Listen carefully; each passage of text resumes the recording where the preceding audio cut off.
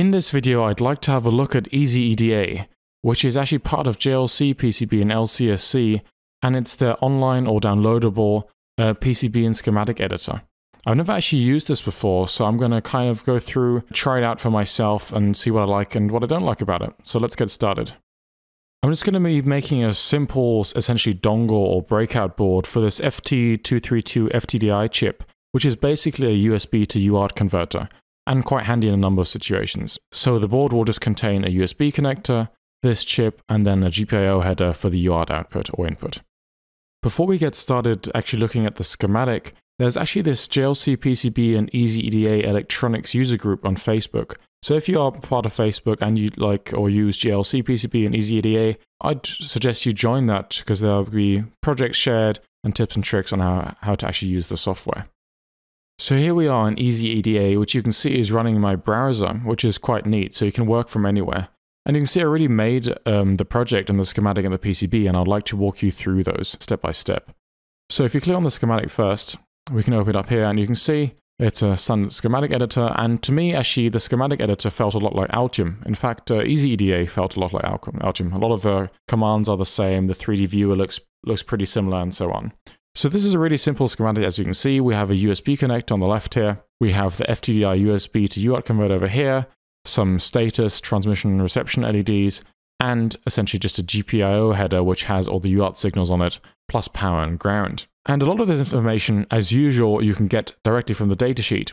So you can see here there are a couple application examples, USB to RS422, but what we're interested in, in is pretty much a, just a simple UART interface. So for example, to an EMS microcontroller. So I've pretty much taken most of this into the schematic over here. I'm using the 5 volts from the USB to power this whole board, and then the FTDI chip actually has its own 3.3 volt regulator, which I'm then feeding into essentially the VCCIO, which sets the logic levels of the UART. The two status LEDs indicate transmission and reception, and yeah, and I think that's pretty much all there is. I'm performing a tiny bit of filtering with this ferrite bead and C1. Other than that, most of this is just taken from the datasheet. The nice thing about the EasyEDA software is, is that it's pretty much directly linked to the LCSC and JLC PCB parts catalog. So you can see on the left here, we have this library button, and that actually brings up the search engine. So we can actually click on LCSC electronics. And if, for example, I want this FTDI chip, I will just type in FT232, press enter,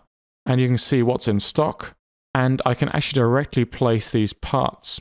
I chose one of these chips down here, I believe, but let's just choose a different one. So if I click on place, it's going to load the part in. You can see I've got the symbol and I have the footprint. I click on place and I can put it anywhere on the schematic. And that's really useful because I don't need to draw the symbol myself, I don't need to draw the footprint myself, and everything's linked with the LCSC catalog. So all the part numbers and so on will be in the project already. So that's really useful and quick, I find. So pretty much all the parts here I got directly from the LCSC catalog. So there's micro XNJ um, connector, which is a micro USB connector. As I said before, there's FTDI chip, the LEDs, resistors, capacitors, and so on. I all got using this library button, so I didn't have to draw any of the symbols myself or any of the footprints. So once you've done that, you can actually add a PCB design file, and that's where we can go out to layout and routing. So let's have a look at that now. So here you can see I've already finished the design and the layout of this PCB. It's a simple two-layer PCB with the top layer being signal routing and the bottom layer being predominantly a solid ground plane. And I'd just like to talk you through this little design. The flow, so to speak, of the board is that on the left side we have the USB connector, in the middle we have the logic IC, and on the right side we have the UART connections.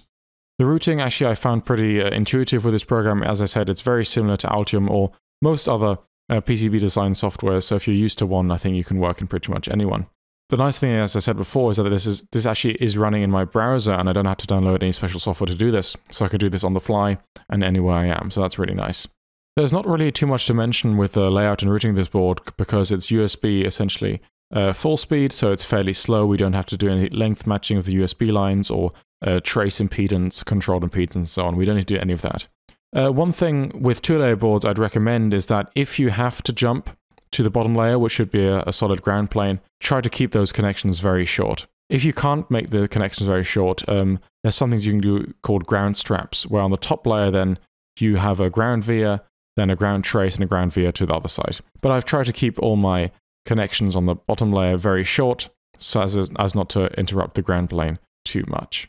As usual, I'm just keeping the decoupling capacitors pretty close to the ICs, and then of course labeling the board with silkscreen just to indicate what's what. So we have the reception LED, transmission LED, what all these GPIO terminals do, of course the name of the board. A really nice feature is actually, if you look up here, I can click on 3D, and that renders the board in 3D, and I didn't have to import any of the 3D models myself. This is all pre-made from, for example, the LCSC parts catalog. So the last step is then to produce the manufacturing and assembly files for JLC PCB. And since this is all integrated into the EasyEDA software, we can do this really quickly. We have to go up here on the top to fabrication, and then we can generate the bill of materials, the fabrication files, the Gerber files, and also the pick and place information. So if you click on bill of materials, we can export the bill of materials here, if we click on pick and place file, we can do the same thing. And then, of course, the Gerber files. So before we generate the Gerber files, it actually asks us if you want to do a design rule check. And of course, you should do that at multiple points during your PCB design. So let's do this, do that. And on the left side, we see have zero DRC errors. And here we come up straight with the JLC PCB ordering form. So you can choose your quantity, thickness, color, uh, what surface finish you want, the copper weight, and so on. So you can generate the Gerbers or order directly at JLC PCB. And at the moment, they actually have this promotional offer with a coupon where you can get uh, $10 off your PCB in SMT assembly. So if you want, I'd recommend you to use that. With that being said, that's pretty much all you have to do. So thank you for watching this short walkthrough of Easy EDA, and I hope to see you in the next video.